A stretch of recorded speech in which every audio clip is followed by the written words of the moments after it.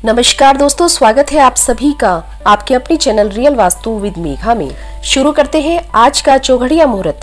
लेकिन उससे पहले, यदि आप चैनल पर नए हैं और आपने अभी तक चैनल को सब्सक्राइब नहीं किया है तो प्रतिदिन चौघड़िया मुहूर्त की जानकारी प्राप्त करने के लिए चैनल को सब्सक्राइब कीजिए और साथ ही साथ बेल आइकन को भी प्रेस कीजिए, जिससे कि हमारे द्वारा अपलोड की गई वीडियोस की नोटिफिकेशन आपको मिलती रहे। अगर आपको वीडियो पसंद आए तो वीडियो को लाइक कीजिए और चैनल को सब्सक्राइब कीजिए। आइए शुरू करते हैं आज का चौघड़िया मुहूर्त। 26 फरवरी 2022 शनिवार, आज का चौघड़िया मुहूर्त। आज सूर्योदय का समय रहेगा सुबह छह बजकर चौवन मिनट और सूर्यास्त का समय रहेगा शाम छह बजकर चौबीस मिनट।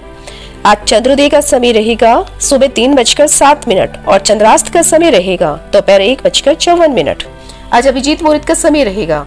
दोपहर बारह बजकर सोलह मिनट से एक बजकर दो मिनट तक और राहु काल का समय रहेगा सुबह नौ बजकर सैतालीस मिनट से ग्यारह बजकर तेरह मिनट तक। आज दिन के चौघड़ियों के शुभ मुहूर्त कुछ इस प्रकार रहेंगे। शुभ चौघड़ियों का समय रहेगा सुबह आठ बजकर इक्कीस मिनट से नौ बजकर सैतालीस मिनट तक। चार चौघड़ियों का समय रहेगा दोपहर बारह बजकर उनतालीस मिनट से दो बजकर पाँच मिनट तक। लाभ चौघड़ियों का समय रहेगा दोपहर दो बजकर पाँच मिनट से तीन बजकर बत्तीस मिनट तक। लेकिन इस समय वार वेला भी लग रही है और वार वेला के समय में किए गए किसी भी प्रकार के शुभ व मांगलिक कार्य फलदायी नहीं रहते, इसलिए इस मुहूर्त को त्यागना ही उचित है। और अमृत चौगड़ियों का समय रहेगा, दोपहर तीन बजकर बत्तीस मिनट से चार बजकर अट्ठावन मिनट तक। आज रात की चौगड़ियों का शुभ मुहूर्त कुछ इस प्रकार रहेगा। लाभ चौगड़ियों का समय रहेगा, शाम छह बजकर चौबीस मिनट से सात बजकर अट्ठावन मिनट तक। लेकिन इस समय काल रात्रि भी लग रही है और काल रात्रि के समय में किए गए किसी भी प्रकार के शुभ मांगलिक कार्य फलदायी नहीं रहते, इसलिए इस मुहूर्त को त्यागना ही उचित है। शुभ चौगड़ियों का समय रहेगा। रात नौ बजकर इकतीस मिनट से ग्यारह बजकर पाँच मिनट तक अमृत चौगड़ियों का समय रहेगा।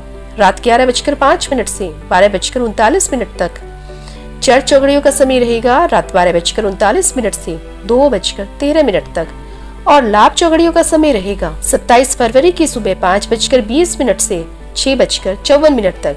लेकिन इस समय काल रात्रि भी लग रही है और काल रात्रि के समय में किए गए किसी भी प्रकार के शुभ मांगलिक कार्य फलदायी नहीं रहते। इसलिए इस मुहूर्त को त्यागना ही उचित है। ये थी जानकारी आज के चौघड़िया मुहूर्त की। वीडियो में अंत तक बने रहने के लिए आपका धन्यवाद।